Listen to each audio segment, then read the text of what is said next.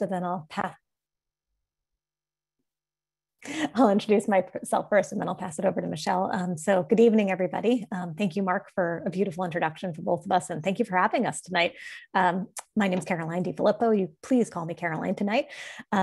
Um, I am a physician, an internal medicine provider by training. I also serve as a medical director at Caremount um, in the neighborhood of Katonah for those who are local.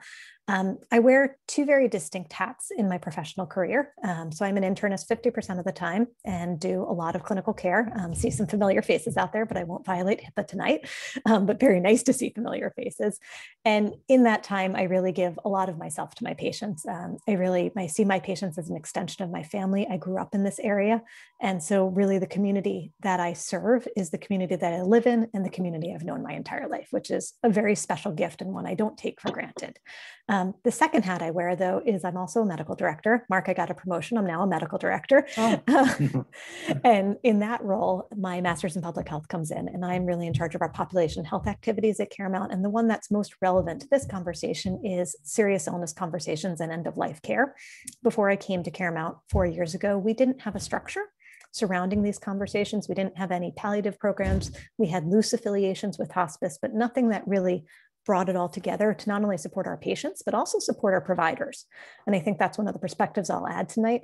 Um, this is all really hard for the doctors and the patients. Both of us struggle with these conversations and both of us avoid these conversations quite often. And so I brought in a tool and have been training our doctors and our, all of our providers, actually, not just physicians at Caremount now for about three years on how to navigate these conversations and building a program around that. And the final part of my story is this past weekend, I learned how to write about it. And I attended a narrative medicine workshop at Columbia that I'll be happy to share some skills from, where I really learned the power of reflection and active listening and how that really brings this whole process together. And then my hope is to further translate that to Caremount and to all of you. So I'll pass it over to Michelle. Hi, everybody. So nice to meet and see everybody. Um, so I am so happy to be here. And again, thank you for the invitation. Um, so I have a private practice in Harrison. Um, and it really, the focus more is on the type of treatments that I do. And I see all different age, you know, clients. Um, but I've, my primary focus is on um, CBT, which is cognitive behavioral therapy, um, ACT, which is acceptance and commitment therapy, and EMDR, which is eye movement desensitization reprocessing. Um, and I'll explain some of that when we, you know, when we have our conversation.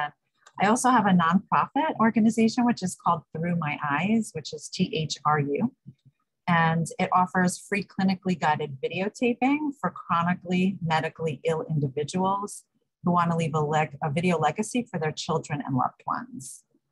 Um, so, end of life, of course, um, and you know the type of conversations, obviously, that we have and formulate and have been videotaping for years really has taught me so much and has helped me so much in my practice and working with people at you know end of life. Um, I teach also at NYU. I'm an adjunct at NYU, and I teach a mindfulness practice class a graduate mindfulness practice class. So a lot of my work also is in mindfulness, mindfulness based. Um, I'm on the board of directors of the Boys and Girls Club in Mount Vernon. And I am also on the board of directors of Westchester Trauma Network in Westchester because I do a lot of trauma work as well. And really love the work that I do. And I'm excited to have this conversation with all of you. Awesome. So, where we want to begin um, is with the why. And before I jump into that, I really mean it. Um, we both mean it. Please put questions in the chat. Um, it's hard to interrupt us as we're speaking, but please ask questions, stimulate us. We want this to be really an engaging conversation. Nothing would be more disappointing if we just talked to each other the whole time. So join in the conversation. Um, so the why. So I think we all have a story as to why we're here tonight, and we all have a reason why you chose to follow this Zoom link and come tonight. And I think that's important for us as individuals, but for us as a society, the why is starting to change. And if you think about two years ago now, two years and a month ago now, the why really shifted for everybody. We went from those who lived with chronic and serious illness to being vulnerable, knowing something could happen or was going to happen, to this unpredictability that COVID brought into our world. And suddenly people could become quickly and seriously ill with limited notice. And that introduced a permission, I would argue, to start to have these conversations. And so the why is the time is right it was always the right time, but more than ever, there's an appetite and an openness and a willingness to have these conversations. And it is important because we are still, unfortunately, in this unpredictable pandemic that we live in. From a physician's perspective, I want to explain to you why it's easy and why it's hard to have these conversations. So, for our training, much of what we learn is the importance of communication, without a doubt, and we have all sorts of communication skills. But the framework within which I learned how to have these conversations was one of a barrier. You know, reflect the patient's wishes, reflect what they're saying. Don't share necessarily your emotions. And that's hard. And for some people, that comes really naturally. And for some people, that's very uncomfortable. And I'm sure you all know extremes of that. People who are a wall and, and, they're telling you something horrible and you're telling them something horrible and you get nothing back. And then those who are crying right there with you. And it's really hard sometimes to find that right balance. And that's not something that's spoken about in medical training. It's not something that's acknowledged. And it's really not acknowledged about what your own personal experiences are that may bring you to those conversations and may impact how those conversations impact you. So the training is not really something that integrates communication skills within the medical system. The second thing is when you think about a visit with a clinician, there's often a goal. They're very goal directed visits, right? I'm here because I have chest pain. I'm here because my heart doesn't feel good, whatever it may be and to have a conversation about not that goal, but your broader goals about what's important to you in your life takes a pivot. It's hard to shift when you're used to this didactic. You tell me a problem, I tell you a solution, to one that's more of a collaborative conversation. That is very challenging when you do 90% of your day one way and then you've got to shift it another way. And once again, something that can be different, something that can be uncomfortable, but not something that's impossible because you can train people how to do that. So I think about one patient that comes to mind, who's a patient I've had for about 10 years now, who is a chronically ill, underserved individual um, with a limited uh, educational status. And when he comes to me, we don't really talk in the way that the traditional doctor visit goes. I don't say, hey, how's your diabetes? Well, I do say, how, how's your diabetes? And he tells me it's terrible. And then the rest of the visit, we talk about everything else that's going on in his life. What's going on with transportation? Have you been able to get to work? Are you still mad at the person you're living with? How is that impacting you? Did you get any special meals this month? Were you able to eat something other than your microwave meals? And how that profoundly impacts his ability to access care. But that's a shift in the relationship. And frankly, a shift in how I get paid and how I get reimbursed. But I recognize the value of how that allows me to treat that person better and know him as more of a person. So remembering this construct that we work in is not one that really supports these types of conversations. And that's my third comment about this, which is the system. So most people will tell me they don't want to die in a hospital. I'd say 80% of Americans from studies have said that very clearly. Please don't let me die in a hospital. It's really hard to not die in a hospital unless you put work in in advance. And what does work in in advance mean?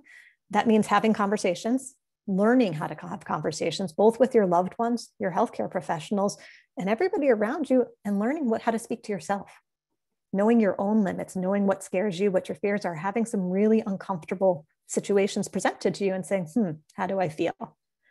And being willing to be flexible with that. Because a lot of people will have a living will, they'll do something with their lawyer, it will sit in a dusty safe, you'll never take it out. And then something happens and a family's reading and saying, none of this applies. How do I make this translate? I don't know, right? Just as hard. And so these are not one conversation, these are a series of conversations. But as I said, the system is going to default to do more, bring you back, more treatment. And we need both the patients and the providers to challenge that. And once that momentum gets going and one test leads to a CAT scan, which leads to a biopsy, which leads to a complication, it's hard to stop it.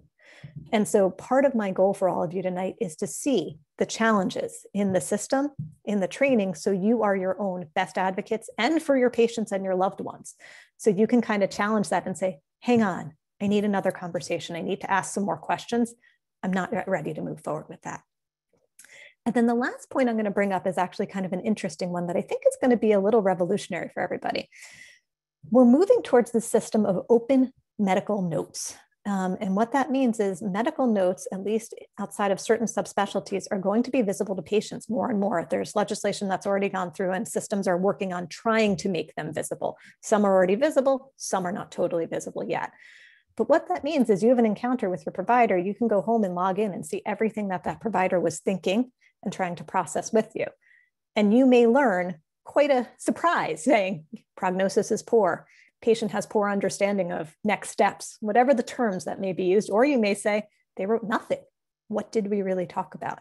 So I think that's yet another opportunity when we're approaching serious illness and end of life to really try to bridge that gap. Because I can tell you a lot of times my notes reflect my thinking, but not necessarily my speaking. And I make a lot of assumptions um, that patients understand, that patients are following me, and I'm not always right on those assumptions. So I think it's important to use the tools and evolve with technology to help us to continue these conversations as opposed to shut them down. So I'm going to pause there and pass it over to Michelle. Thank you. So I'm going to talk a little bit about, again, from the point of view of, you know, being a clinician, obviously, which is a little bit of a different role, and what comes up in terms of difficult conversations in general. And I think I also want to say when we talk about grief and loss, right, we're talking about end of life, but there's all different ways that we experience grief and loss. So I want to make that a little bit more expansive, right? And especially today and what's going on in the world, I don't think there's anyone that's unscathed. You know, to some extent, right? We're talking about a war, you know, we're talking about COVID, we're talking about, um, you know, racism. We're talking, I mean, I could go on and on, climate change, and again, I could go on and on. Um, so all of us are impacted in so many, so many, you know, detrimental ways that really um, tend to evoke a lot of feelings and distress and etc. So I think it has to be vocabulary that we're familiar with, whether we like it or not. And you know, from the vantage point of a clinician, how do we experience that? Like we're processing that, you know, individually, and then we have to talk about it with others, and that's difficult. So to really hone in and acknowledge our own suffering in the process and be in touch with those countertransference kind of you know feelings that come up too you know and those are obviously emotion you know some emotional entanglement that we can have sometimes with our with our clients because of what it evokes in us. And you know when i was preparing this i was thinking about what ways do kind of language and communication play into our work. Um, so we naturally try to avoid feeling uncomfortable. So it's likely that we would want to avoid these kind of conversations. That makes sense.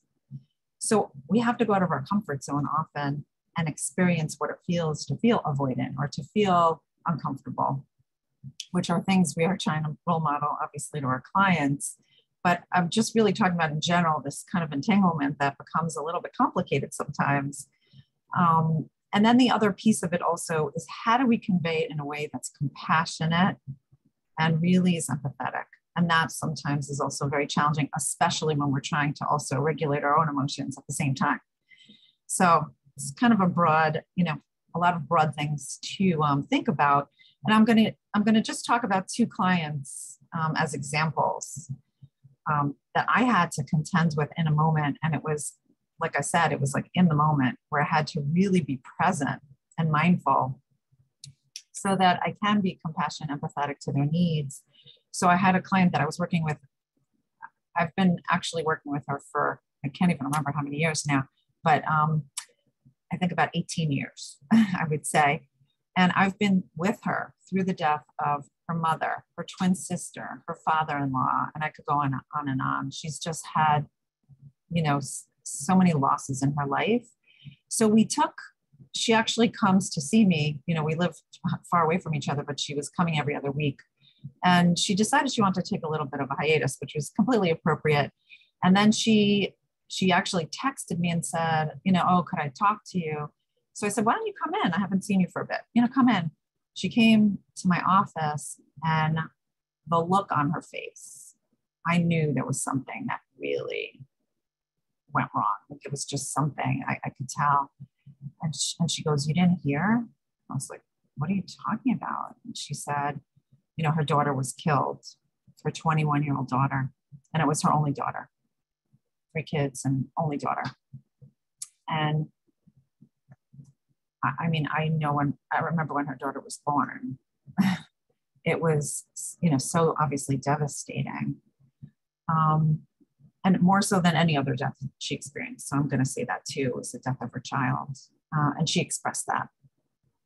So, you know, just something to know a week before this happened, I lost um, my nephew a day shy of his 16th birthday. He died in an accident.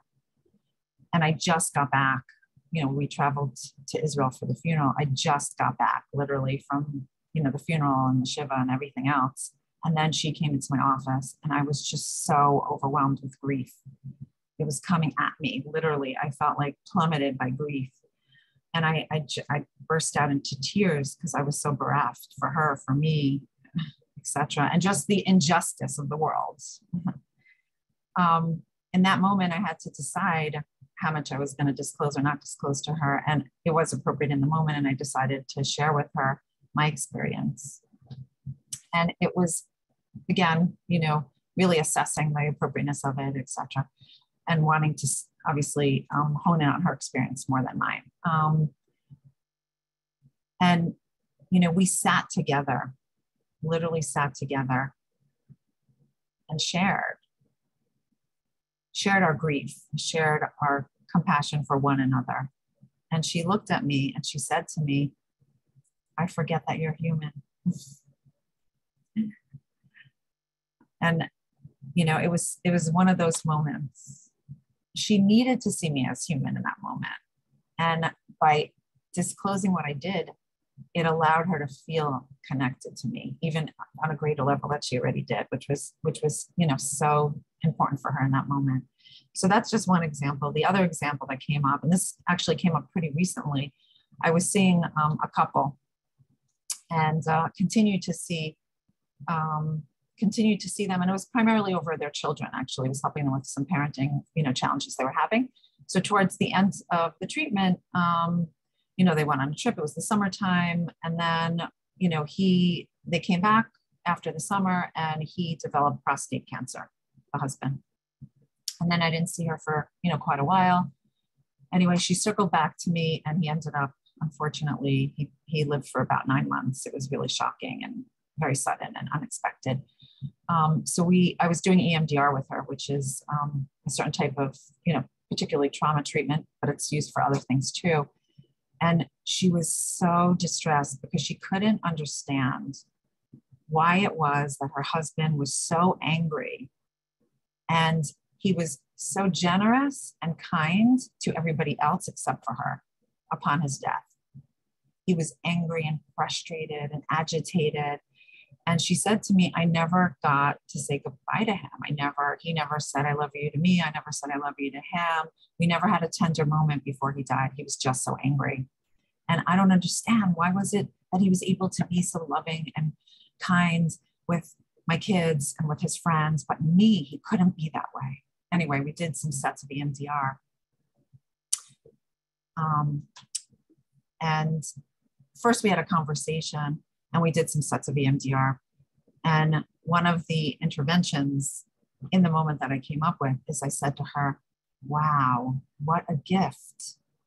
Do you realize what a gift you've gotten? And she said, What are you talking about? I said he was he was able to be himself you gave him space where he was able to be his authentic self. He couldn't be like that with anyone else, just you. You got to see him in his raw essence of what was really genuinely going on for him. What a gift that he shared with you. If that's not connection, I don't know what it is. And then we did some sets of the EMDR, and it was so fascinating. But what ended up happening was she actually for whatever reason, she repressed a memory, and the memory was that he actually did have a tender moment with her. She didn't remember it. Yeah. Um, so these these moments when you have these deep conversations, right, bring so much healing and love and connection, which you could never get if you avoid these conversations. So I am just really stressing the importance of them. And even if we feel uncomfortable as clinicians, that we still need to have them and not avoid them. Um, so just wanted to say that. Turn it over. So we'll pause for a second if um, anybody wants to throw anything in the chat or briefly come off mute. Somebody asked what to explain what EMDR is. Um, sure. So it's called eye movement desensitization reprocessing, and I'll give you really short explanation because it has a lot of uh, obviously um, science behind it and other things. But basically, it's uh, it's bilateral stimulation. So you're using your senses. Uh, you could use audio, which is obviously right. Um, you know, you're listening, right? Auditory. You could use tactile, which is touch, and those are like, let's say, with buzzers. So it's uh, vibrations back and forth. It's a light beam, which goes back and forth, which is visual. So we use our senses. I usually use two different types of mediums. And what it does is it allows, for whatever reason, we don't know why this is, but it allows having that bilateral stimulation allows for us to go deep into our subconscious and our unconscious. So we're able to process on a much, much deeper level. And um, there's science behind it, which I won't get into, but that's generally it on, you know, in a nutshell. And I think what that reminds me of is some of the conversations I've had with patients. I I realize how quickly they are to give me a strong reaction to something. You know, I, I don't want to do that. I don't want to go to the hospital, whatever it is. It's really important to me that. And I can think of one patient who was very sick with a chronic respiratory illness. And she just wanted to get her hair cut. And she was perseverating on getting her hair cut. And so finally I said, fine, I won't send you back to the hospital. Go home, do your hair, whatever you want. Ultimately, she actually wound up on hospice so she could get her hair cut. And I was so confused. Um, and it took a series of visits. And as it turned out, she actually thrived on hospice and is still here almost two years later after entering hospice. Um, that it was really about she was still grieving the loss of a miscarriage um, 70 plus years ago and felt the need to appear put together to meet her lost child um, that she was still grieving all those years later and over the course of a series of conversations that came out. But you can imagine the confusion and you can imagine how easy it would have been for someone to say, That's ridiculous. You're having respiratory distress. You need X, Y, and Z in terms of treatment. But instead, I kind of gave in a bit and said, Okay, you guide me. I'm giving you my recommendation. You're telling me something. I need to listen to what you're telling. And maybe someday this will all make sense. And it did in her case. So somebody had a question whether you could do EMDR online or not. So um, actually the situation that I was just talking about was online. So I do EMDR online, absolutely. Um, but of course, online I could only use the eye movements. So I do have a light bar, which I actually, you know, faces up to the to the um, camera. Um, and then somebody else um, commented that they used EMDR for one session. It was life changing for them. So Um, Perfect. All right, so we're going to move forward. So next half of this conversation, um, we actually want to talk about some of the tools you can use, um, some of the tools we both use, and some of the things you can translate into your own practice. So this is the hands-on practical part of the conversation for all of you. Um, so I'm going to take you through the tool that I have trained um, a lot of the CareMount providers to use and explain it to you and then give you some examples of how it can work. So we use something called, and didn't occur to me to make a slide, but next time I will. Um, it's, oh, no, that's definitely not going to work with the blurring effect. Never mind. Um, it's called the Serious Illness conversation guide. And this is came out of Atul Gawande's uh, Think Lab in Boston. So Atul Gawande, you should absolutely read his book um, that he wrote as he processed his father's um, end of life care and how much he realized during that process that we did not have a good system. We have all these amazing systems in place for all these complex medical interventions, neurosurgery in his case, and yet we did not have an analogous set of tools for patients who were dying.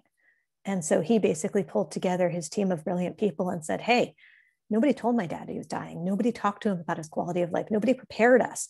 It was treatment, treatment, treatment. Oh, hospice, and no bridge in between.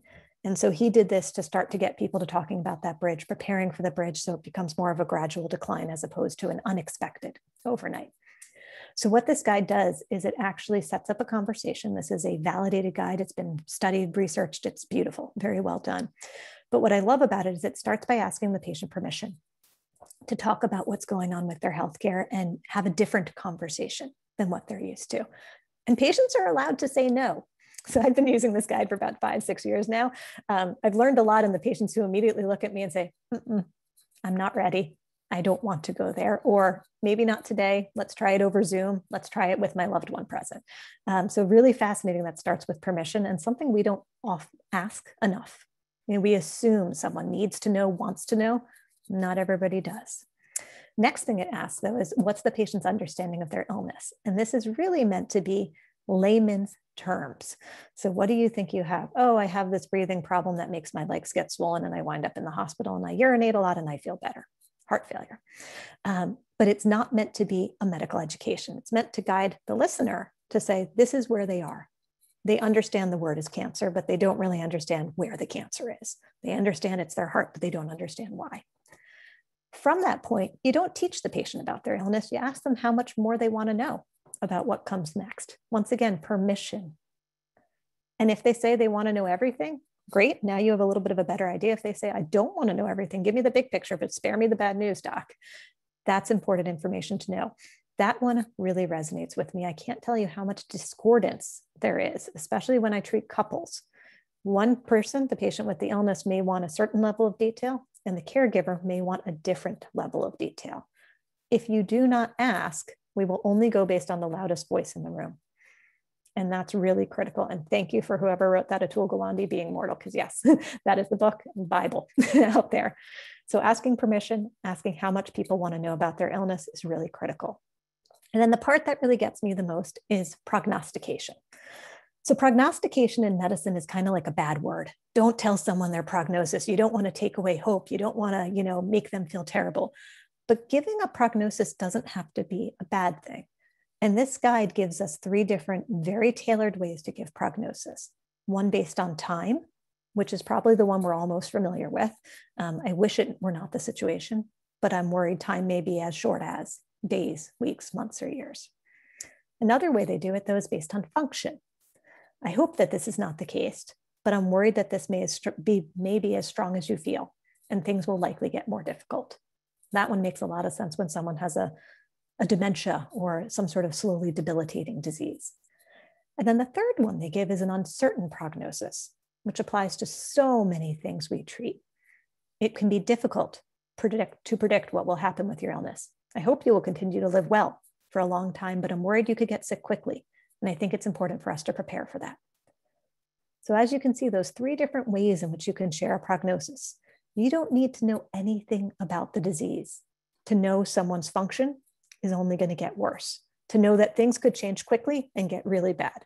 The only one you probably need to have a bit more medical knowledge about is time. And that's the one I say to use the least amount. But you can see the power of those three statements. And I read it on purpose because the words are so important and they really make a difference. And then the second half of this guide then goes through assessing from the patient what their goals are, what their fears are, what gives them strength, what abilities are so critical to their life that they can't imagine living without them? And then if they become sicker, how much are they willing to go through for the possibility of getting more time? So you can see there's a progression there, a build up. What do you want to do, but what are you scared of? What makes you feel like you can get there? What are you willing to put up with? What are you willing to trade off to get there? And then the final question comes to how much does your family know about this or your loved ones? To then bring together that part of it's all about a conversation, and we need more people to be a part of this conversation. So, this is a guide we use. Um, it's out there, it's across the country. It's a really simple tool. As a sidebar, you don't have to use it with serious illness. You could use this with chronic illness someone having type 1 diabetes, a diagnosis at a young age, they have to live with this. They are probably having similar thoughts and similar fears and worries around it. And you can also use it outside of the medical profession. It really works well with preteen daughters, in my case. Um, so it really is a set of tools that you can translate in a lot of different dimensions. I see Mark had a question there, so I'm going to pause for a second so I can read it, or I'll read it out loud. It is about agency at a time when health is taking away agency. So true, Mark. How do we enable agency for the patient and the caretaker, caretaker, which, as you said, may have diff- different needs? And I will also argue agency for the provider.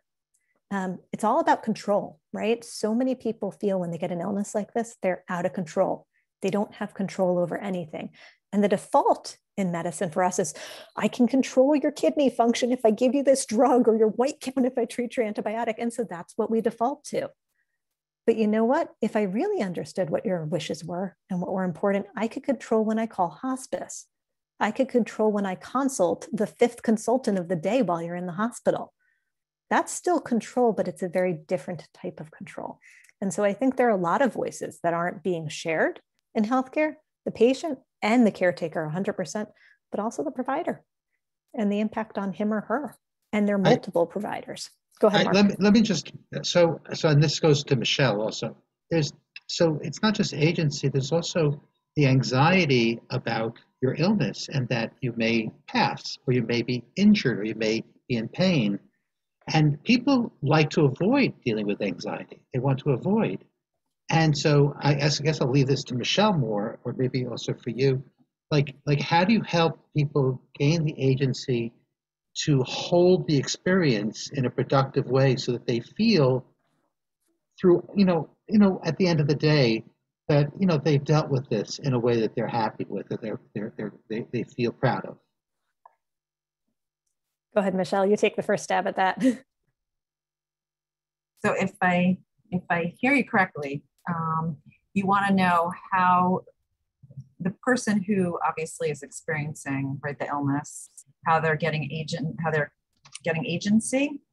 Right, and how and how to how to help them with the anxiety, which make might make them avoid actually dealing with the questions that Caroline is bringing up.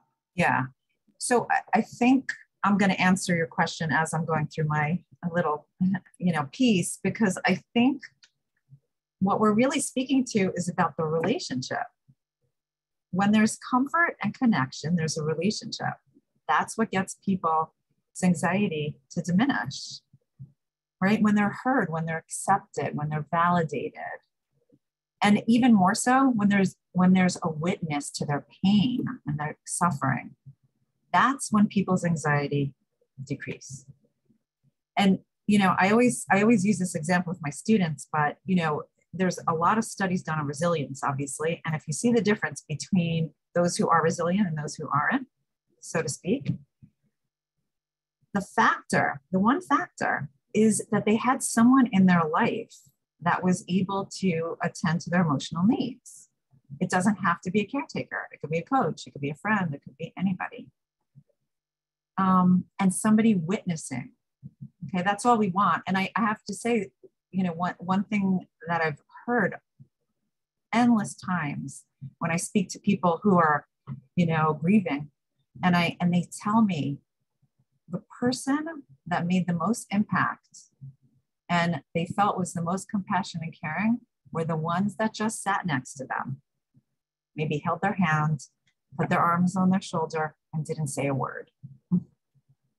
It wasn't the ones who were talking and chatty and trying to, you know, say all the right things and whatever the case is. It wasn't. That's what allowed them to feel most comforted.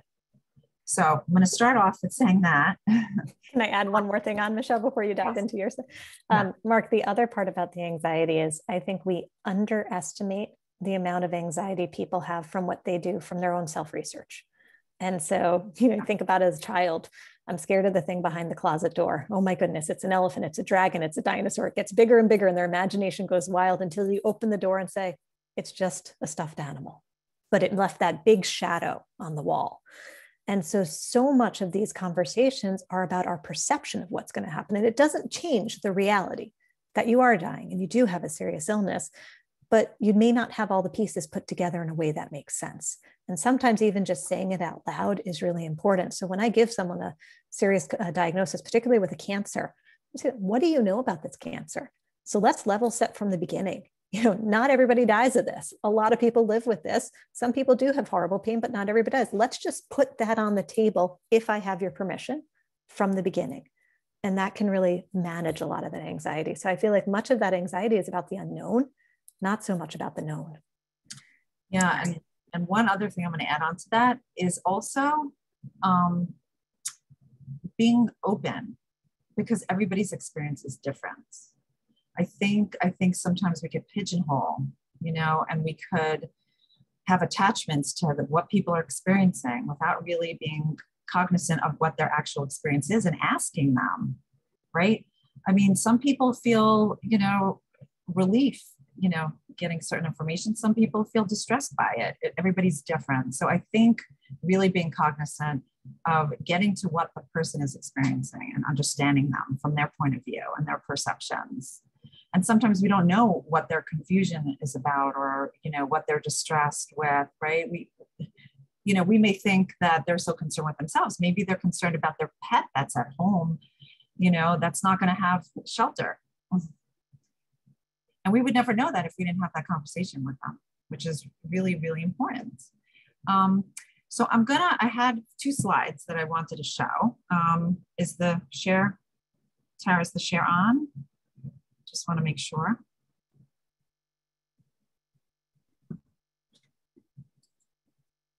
Yeah, okay. Yes. Oh, okay, here, yeah. Okay, so I'm just going to, there's just two slides, but I felt like they would just be helpful. Okay, so I talked before about our own awareness, and I, I really can't stress how important this is. That if we're in a dysregulated state, it's really hard to be present with people who we're working with. Um, so, in terms of really being more self aware, it's really kind of looking at these different components, right? How self aware are you in the moment? And really tapping into all the things listed here, really like stepping back, being able to focus and listen, and knowing your own abilities, your own strengths, um, tapping into your intuition, etc. You know, evaluating, again, being flexible and open, questioning, assessing, exploring alternatives, developing solutions, uh, regulating. So it's again, when we talk about our own regulation and the person we're working with, we really under, want to understand from various components based on their emotional intelligence, their cognition. You know, all of these things are going to impact on how they react to a diagnosis or the situation they're in or what they're concerned with or whatever the case is. Um, and building on the connection. So, really showing genuine interest in the other person, um, initiating conversations, you know, establishing good ways of communicating. I, I could tell you, even like a, a minimal thing, like not being, not playing phone tag with somebody, which can be very, very distressing, especially when they're anxious and they need to hear your voice. That could be so pivotal in the relationship, collaborating and making sure everybody's on the same page, um, exercising, you know, empathy, suspending judgment. You know, we do, we have our own biases about how people should react and how they should be and etc. And really tapping into that and understanding that about ourselves is really, really important. Um, and remaining calm and patient so it's really important to also have your own way to ground yourself. If you do feel in the moment that you are dysregulated, and again, I teach a whole course on this. so I could go on and on with grounding exercises. Um, this is not on mindfulness, but there's so many resources out there on the internet, um, etc. And um, you know, uh, I and I'm going to plug my book only because it does speak to all of this, but I have a book that's coming out in September. It's called um, Ace Your Life, Be Your Best Self, and um, Live the Life You Want. And it has, it talks all about, you know, regulation and how to, you know, uh, really get grounded in moments of activation. Um, so if you want more of that, you could also, you know, that could be a resource for you as well. I'm just going to go to one more slide. So the other slide that I wanted to talk about very briefly is um, conversation bridges. Again, the power of communication is so important. And we're talking about having open, flexible, empathetic com conversation, but these are just examples. Could it be that I wonder if, would you consider this, what, what I'm hearing, which is mirroring back to the person, right? what I think I hear you saying. Okay, um, maybe you feel it is a conceivable that. So these are really great bridges. And, you know, I'm not going to read all of them. You could see, um, is there any chance? Help me understand, right? There's, there's a lot of empathy in these kind of bridging um, sentences that you could use.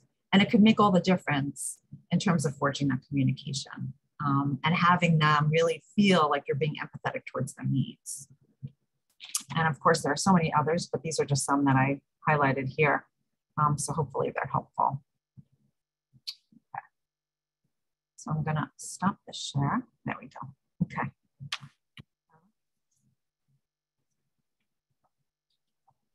So I think we were to open it up at this point, um, and really see if there's any questions, um, anything that anybody wants to share, even about somebody they're working with, or you know, a challenge that they're having that they wanted um, maybe some feedback on, which we're happy to do as well. I, I would I would like to just share the the, um, the last day I had with my mother.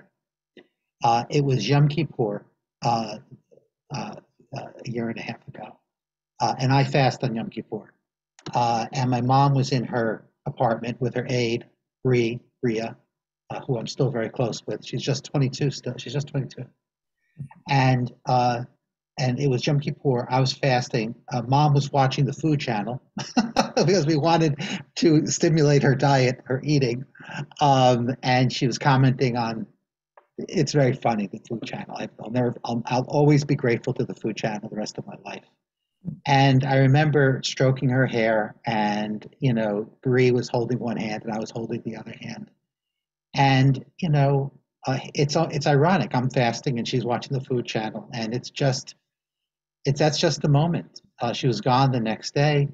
Uh, she was commenting on all the people running around in the Food Channel because they're they're competition. Oh, it's a very American uh, genre, very American genre, uh, and uh, and I, I miss her, but I really felt that having the aid there, it, knowing she was in hospice, knowing she was going, knowing the preciousness was there, the physical touch, um, you know, I miss her, but I really feel like we had something.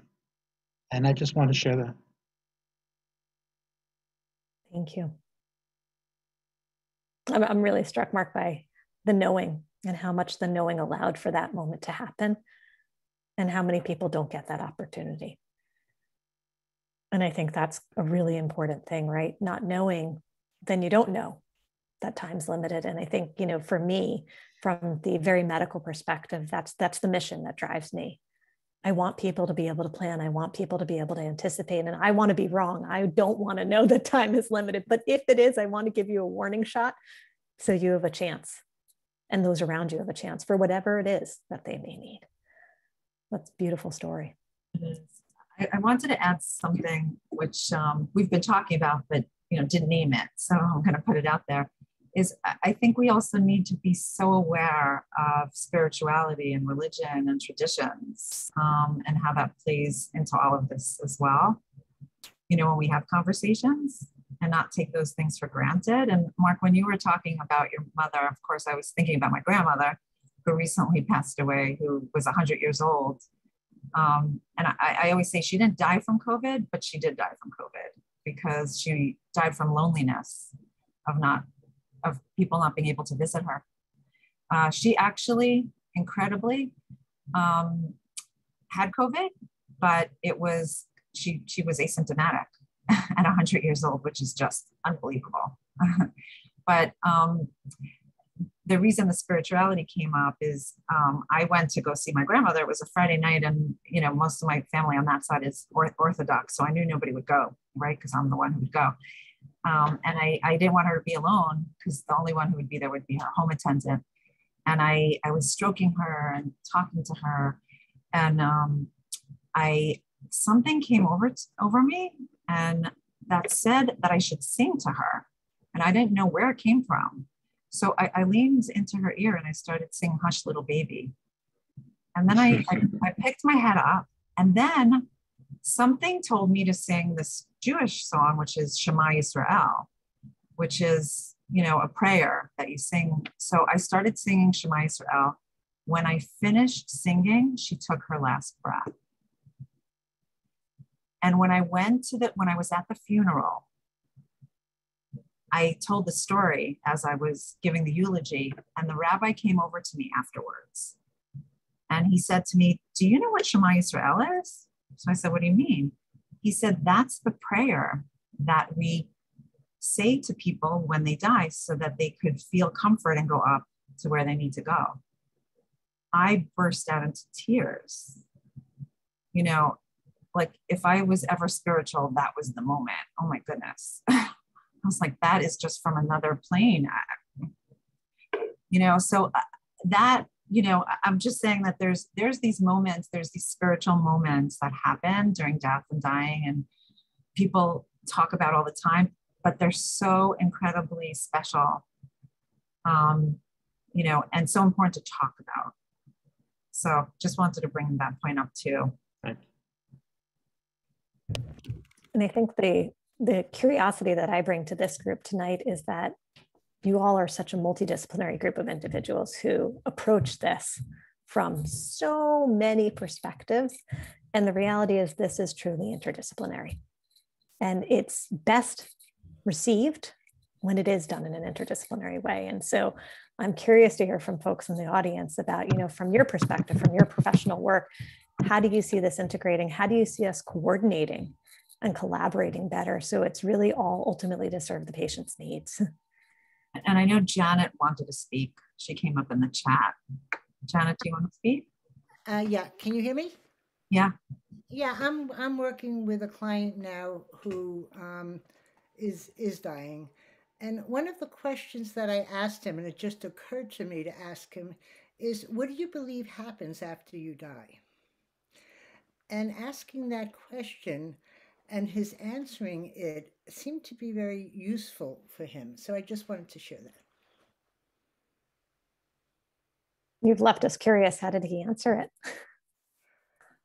Uh, If you are comfortable sharing, that is. he, he believes that um, we we continue in some kind of a way, and and that there is some afterlife, and that he will connect to people who have passed before him.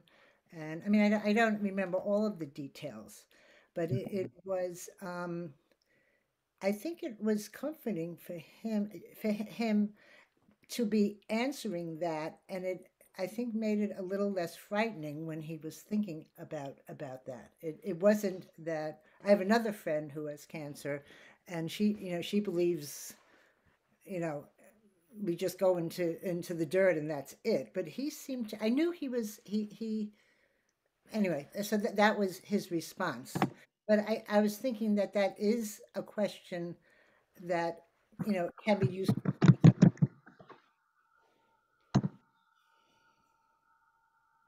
I know that Gail has her hand up and I And, uh, and there's also a question in the chat.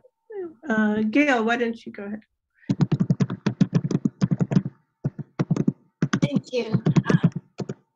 Can someone, okay, I'm often able to talk with hospice patients about the end because being in hospice, they've accepted that there's some limit, um, possible limit on their um, time on earth.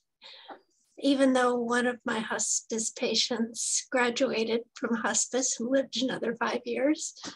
Um, and the Reiki that I give them is a comfort, but I'm but also my conviction that there is something after our physical bodies end is a way that I can approach them and not feel sorry for them and not feel sad about the fact that they're going to be uh, passing. And I can share that with them to the extent that they're worried about that. I can also share the fact that the people they leave behind will be all right if they're worried about that, which is often the case. But it was so much harder to share with my husband when he was in his final illness because of my emotional need for him to be okay. Mm-hmm. So uh, I hope to um, be able to have those conversations with my children so that they don't feel stuck needing me to be okay when that time comes. So I'm hoping to learn how to initiate that kind of conversation. Mhm. And thank you both so much. Thank you, Gail. That was beautiful, Gail. And Gail, what I tell a lot of people is that uh, that getting unstuck is really important, and the hardest part of these conversations are starting them. And a lot of times, I serve as the mediator um, in families where someone's not ready, someone's not comfortable, someone doesn't know how to begin, and I have no problem being the bad cop, so to speak, in that conversation. Oftentimes, I end up as the good cop, um, but really amazing. I do want to jump into the chat for a second because I think that's a nice transition yeah. um, to some of those questions there. I wanted to uh, to talk to GT. Um, uh, how to approach a situation if a family member who is the patient absolutely refuses to talk about end of life. I was also in that situation where my mother would become absolutely enraged if anyone said, Well, you know, you might want to make a plan for this or you might want to consider that. Absolutely off the charts enraged. I'm happy to speak to that because I've been the recipient of quite a bit of rage around that. Um, so I think that's where the guide comes into play for me personally, um, having a very clear, structured conversation. So if you notice, as I read through some of those questions in the guide, we didn't talk about death. We didn't talk about end of life planning. We talked about your goals and your fears. Mm-hmm. If those things came up, that was great, but I didn't push those concepts. So, what I often find in the situation where someone is very resistant, either the patient or the caregiver, to kind of just focus on, well, what's important to you then? So let's just talk about, you know, what's coming next. And I want to live to see, you know, some milestone 10 years in, it, in the future. Okay, well, why? And, you know, is there anything you're worried about related to that milestone or you feel like it's all going to work out? So you just open that door gently, mm-hmm. but come, keep coming back to what's important to them mm-hmm. and identifying that. Um, I have found that's a very grounding process and not feeling like you're coming in with an agenda. While mm-hmm. this is a conversation with an agenda, the agenda is to know the patient. The agenda is not to get a DNR or send them to hospice. The agenda is just to identify their wishes and honor them. Hmm. And that doesn't have to be synonymous or, you know, in conflict with where the patient is if they're not willing to talk about it. Um, I think there's also a corollary to that, and I think someone did just put it in there when the patient doesn't have the cognitive ability to have the conversation, such as in a dementia situation, also becomes really hard. And that's sort of where I try to have so many preemptive conversations with people. And I hate to be ageist, um, but after a certain age, I just start talking to people and say, look, something could happen. What's important to you? Tell me some things so I have a sense of who you are in case you don't have that voice to share with me in a matter of years from now, hopefully never, but I want to know what's important. So, coming back to that earlier comment that Gail was making, preparing your family members, if you know that things may change over time, to know what's important to you. Um, so really getting the right spokespeople in place and sharing with them your wishes and your fears. I'll pass it to Michelle. Yeah, so I was going to just say one more thing is I, I think we also need to respect where people are at. It's really important. You know, we can't force anybody, you know, to talk about something they don't want to talk about or they're not ready or able to you know so that's really really important and i you know for you know with my foundation you know we work obviously with people who are end of life and want to leave a video legacy. Um, and as you can imagine you know some people have a really hard time right facing their mortality. So the way that you know that i talk about it is i say it's kind of like an insurance policy right? We never intend on using it but we have it just in case. And if you go into remission or something happens it's a gift and then people will you know more readily agree to videotape when they think about it that way. You know so i think it also depends on how you're expressing it. Um, you know people want to have hope right? Um, it's it's scary it's frightening it you know all different kinds of feelings obviously that come up. So I, I just think you have to really kind of be respectful of where somebody's at. I, I love that. I use the term plan b a lot so I hope you continue to do well, and I want to have a plan B. And oftentimes that's actually additive, right? So we're working towards cure, for example, and they got a backup plan. She's got my back. So that actually really gives a lot of comfort to folks. Tara, do you want to take us through the next question? Sure. Um, Madeline wanted to have say a few words. Madeline Gross, do you want to? Yes, I was just wanted to piggyback on some of the questions asked previously. Um, the nature of my work, I work with a World Trade Center survivors. So the nature of my patients are many of them with chronic life-threatening illnesses and uh, complex cancers. I'm currently working with a client who is in their late 80s who was told, uh, unfortunately, by a provider kind of straight out that they are only going to live about one to two years and are extremely triggered by that. And this patient is able to verbalize that they did not want that news. They did not want that information presented to them in that way. One of the difficulties that I'm having with this patient is that I'm kind of becoming a vessel for all of their anger directed towards the medical establishment because I work in a large hospital, because I have the word doctor in front of my name. Um, and anytime I try to reflect on things like legacy and meaning and value, they perceive it as if I'm just reminding them that they're dying. That, in fact, one time when the patient initially got on the phone and said, I'm dying, um, I made the mistake of saying, okay, well, what are some of the plans that are being to- told to you? You know, are they talking about hospice? And to this day, this patient perceives my mention of that word as extremely upsetting because to him, I was saying, look at you, or to, to them, I apologize, that you are dying.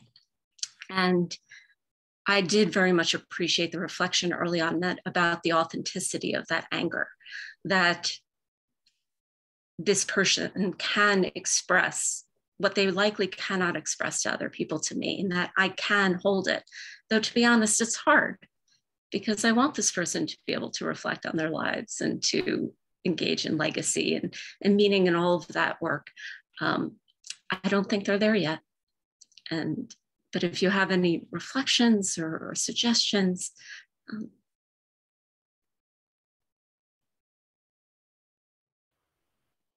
yeah, I feel like again in that situation, it's just being where they're at, right? You know, and again, you you have to be careful also because I think if you valid sometimes when you validate it could it could sound or feel infantilizing. Like i could understand why you'd be so angry right? And then you could come they could come back with what do you understand? You're not going through this. Who do you think you are right? Like you have it good. You don't know what i'm going etc right?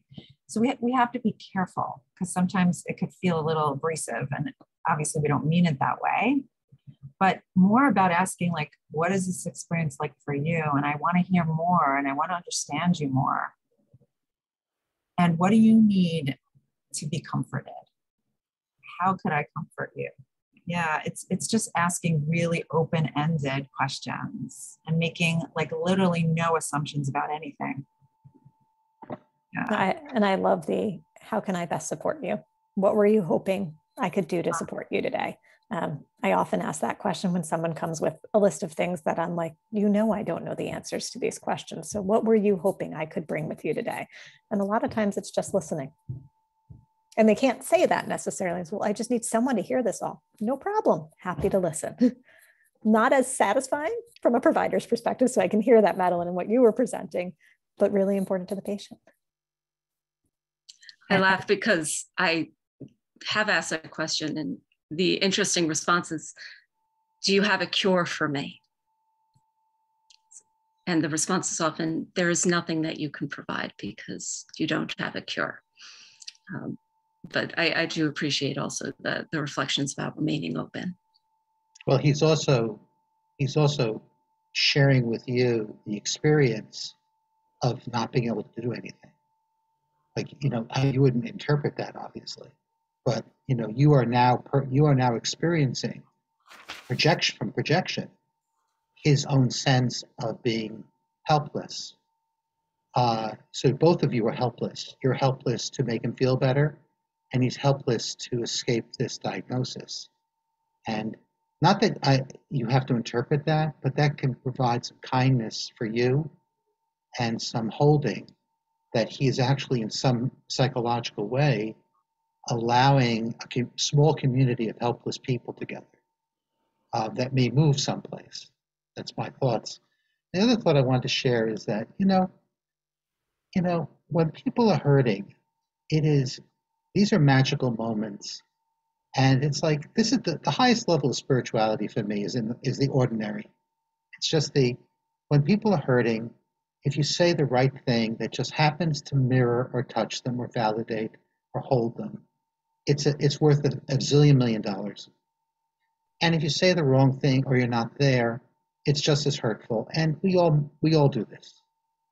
So it's just interesting for you just to know that. I mean, I make I, this happens to me. I wouldn't even call it a mistake. It's what we do. And you know, you have to forgive yourself. Like I forgive myself every day with my patients when I make when I do these things, but they come in vulnerable. So I guess I want to ask the panel, like just like how can we help people who are dying and people who are taking care of them not feel like they are aliens, that they're part of humanity just like us? So, yeah, so I, I think the psychoeducation piece is also really important, right? Because again, we don't want to make broad statements about how people are thinking and feeling, but there is consistency, you know. So, like, for example, I'm working with somebody who recently lost their high school um, senior because of a fat, fentanyl poisoning. Yeah, which is horrible. Um, and one of the things that I've seen in my practice and just working with with individuals who've lost children, and I hear this all the time, is that they have such a hard time dealing with the real world because everything seems so inconsequential. Like when people talk to them about, you know, these silly little things, you know, they're like, how could you be upset about that? I lost my child. Like, you don't know what pain is. Like, you're making a big deal over that. So they see, they feel like aliens, like you said before. Um, so sometimes I'll even just, you know, kind of give a psychoeducation about some thoughts or feelings that come up. And that's so normalizing sometimes to just hear that. Because um, it kind of frames it and it puts, you know, again, without saying this is how you feel, obviously. So, um, one thing that I wanted to comment, Mark, on what you said before, and these are some really nice ways just to kind of piggyback what you said, which I loved what you said, is it's okay to express that you feel helpless, to actually say that when when the person's saying to you when you you know you know you're not going to give me a cure and whatever like wow I, I feel really helpless just say that. You know because when you try to come up with the right answers that is so invalidating. Or saying something like i hear your frustration right? Or i feel angry for you. Like holding that. You know that makes somebody feel heard that makes feel somebody feel validated so those are also just different you know ways. Um, and caretakers the same thing. I think it carries over to caretakers as well. You know saying those types of statements are very very helpful and validating. Um, so i don't know Caroline.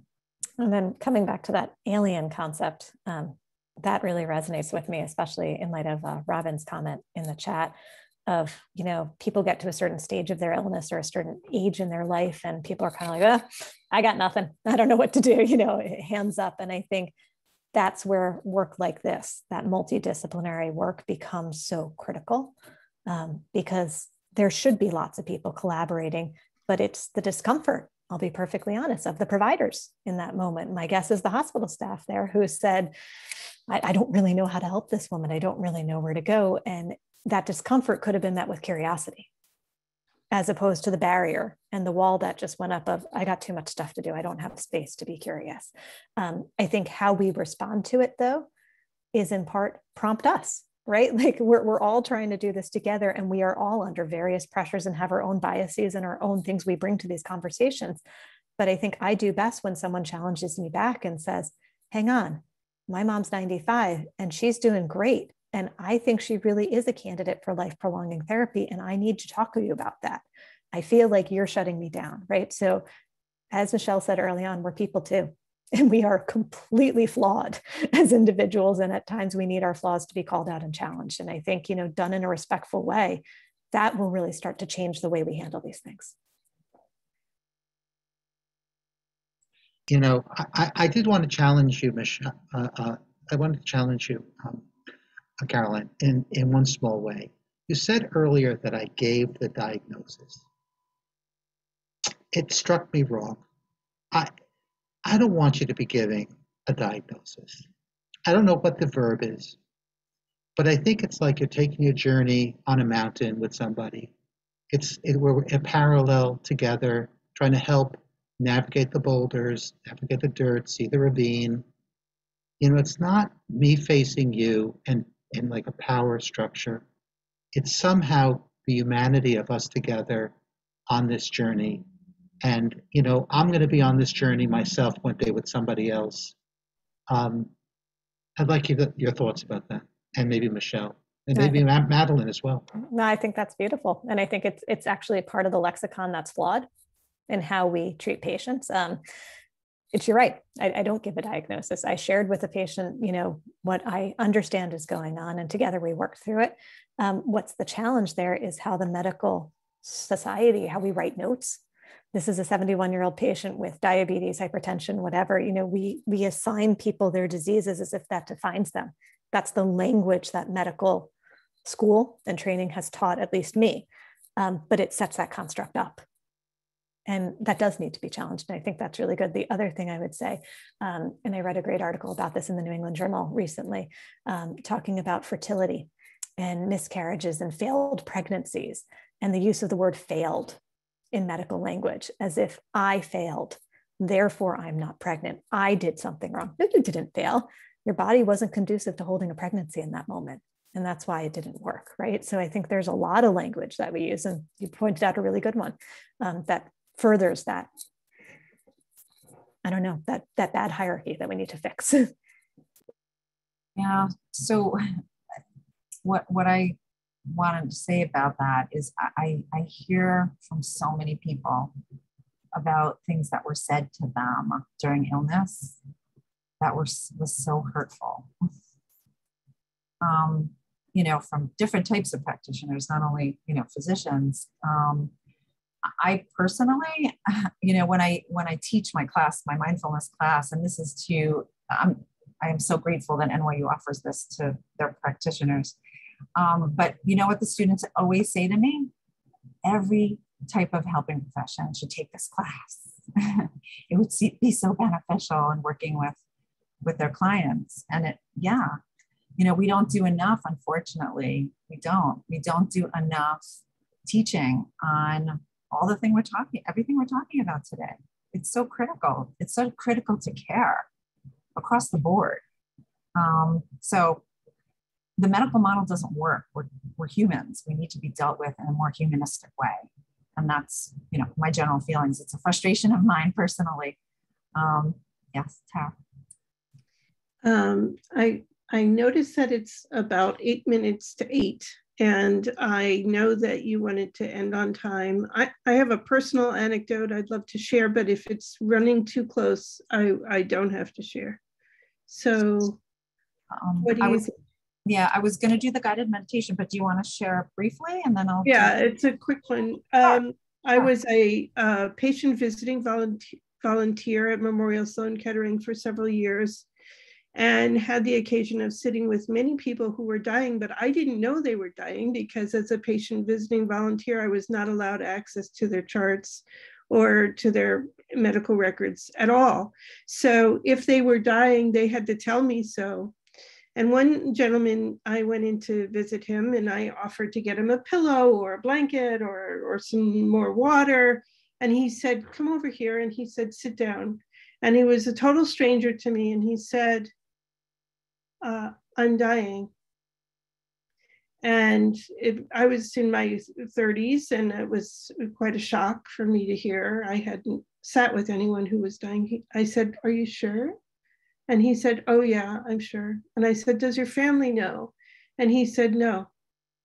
I said, Is that what you decided not to discuss it with them? And that shocked me that she, he wouldn't discuss it with his family. And he said, that's right. I don't want them to know. It would be too hard for them. And as I sat with him, he said, he, he took my hand in his hand and he just wanted to hold my hand. And then he said, Would you hold me? and I felt very awkward. I didn't know this man at all. And I said, okay. And I gave him a hug and he wept in my arms. And I thought he must have really needed someone who was not in his circle and not trying to poke and prod him, not trying to give him a medication. He must have needed someone to share the reality of his situation and and to grieve that he was going to die.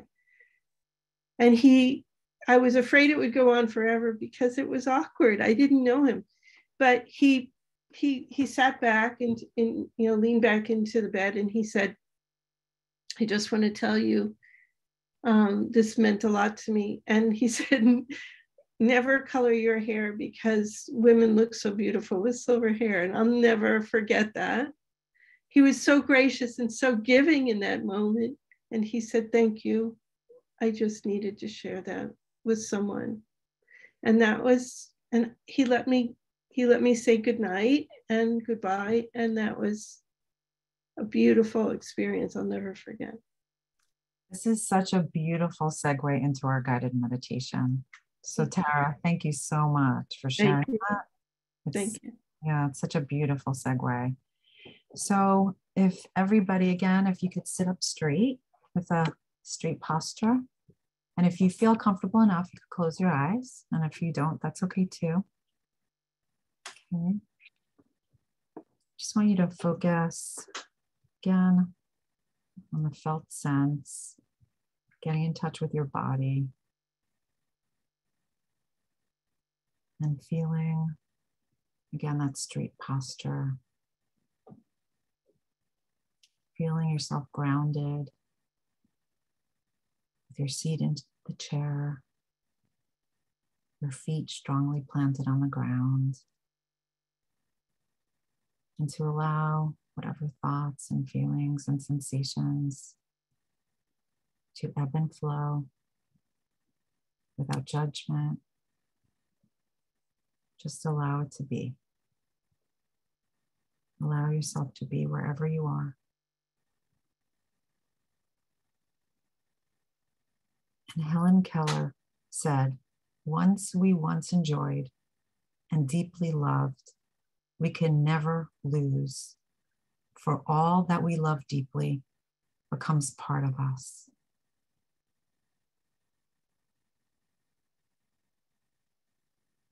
Notice your breath and the inhalation and exhalation.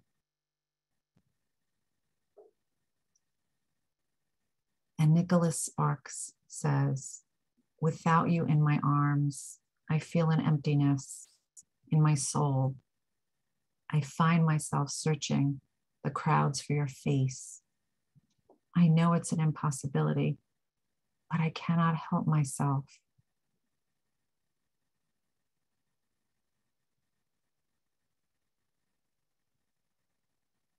And Elizabeth Kubler Ross and David Kessler say the reality is that you will grieve forever. You will not get over the loss of a loved one. You'll learn to live with it. You will heal and you will rebuild yourself around the loss you have suffered. You will be whole again, but you will never be the same, nor should you be the same nor would you want to.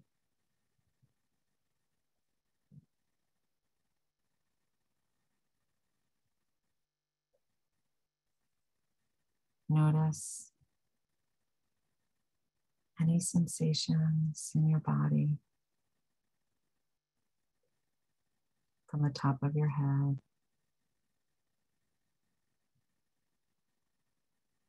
Going down your face. And Paul Coelho says, never, we never lose our loved ones. They accompany us, they don't disappear from our lives. We are merely in different rooms. And Renoir says, the pain passes, but the beauty remains. the memory, the treasures. They are always with us, enduring throughout our lives.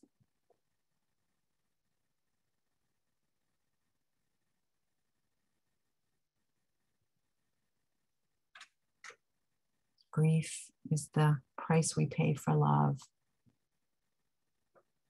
The deep, enduring, caring, connected love. And Alphonse de Lamartine says, sometimes only one person is missing and the whole world seems depopulated. Those special someones that we yearn for, that we cry for, that we miss. And Helen Keller says, We bereaved are not alone. We belong to the largest company in all the world, the company of those who have known suffering.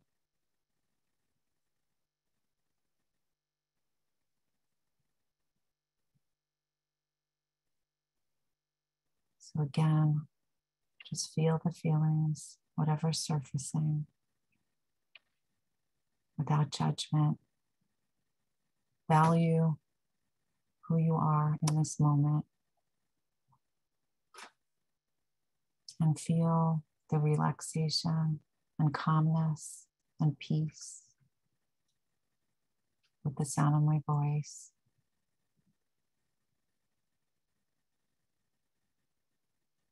And the journey of healing that we all embark in together, united in this community, right here, right now. And when I count to three, and when you're ready, you could open your eyes.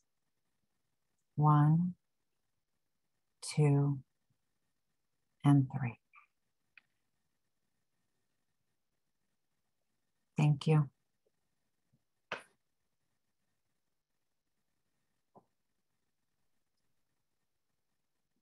Thank you so much. It was really beautiful. It's very special. Mm. Thank you. How do we segue out of this, Tara? This Thank is you. Such a special, special session together. Yeah. Um, I think I think it, we could do our prayer to the world. What do you think? I I think it could be. Let's do it briefly so that we can Yeah. let them go. Yeah. So we'll say goodbye with a prayer that Tara will lead. It will be very short, but it'll be about bringing thanksgiving and loving kindness to people that you love and healing. And we hope to see you next month with our next presentation. So Tara, please, please lead us. And once again, Caroline and Michelle, we're so grateful to you. This was just the deepest and most important uh, experience I can remember in a long time. Thank you so much. Thank you so much. And if anyone wants to leave, I don't mind at all. It's not a problem. You don't have to stay. Um, as a tradition with Katonah Study Group, when we were meeting together face to face for years, we'd gather in a circle and we'd all hold hands. So in the virtual world, we can only imagine what it's like to hold hands with someone next to us. And we just want to hold the hands of people near us, give them a squeeze, and just come back to center. Just come back to yourself again once more. Notice your breathing. Just take a long inhalation and a longer exhalation. And with each breath, just breathe in the light and the love that you feel from this group, that you feel for yourself, that you feel coming from your loved ones. And just take that in and hold it in your heart with a long inhalation and a longer exhalation. And now imagine you're ready to give that light and that love to all who need healing, to those people in your home, to your neighbors, to your town, to your city, to your country, to the world, to those people who need love and light and healing, to those who are on the earth and to those who've passed on. And if there's someone special in your world who needs love and light and healing, and you want to say their name out loud, you can say it out loud or you can say it silently to yourself.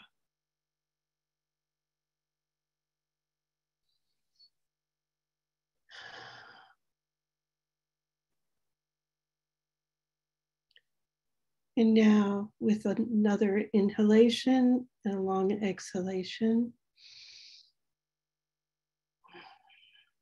let's just imagine a large orb of white light and love in between all of us, around us, circling around us.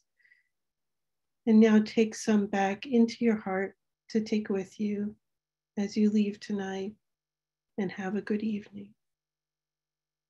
Thank you so much for coming and hope to see you again next month. Thank you again. I will be sending out a link to the recording within a week or two. So you can look out for that. Thank you so much. Thank you. Bye.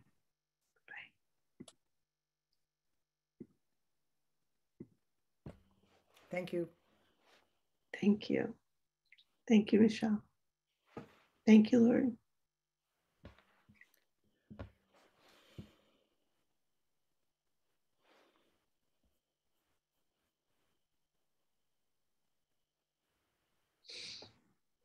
Have a good night. Okay, is Michelle still on?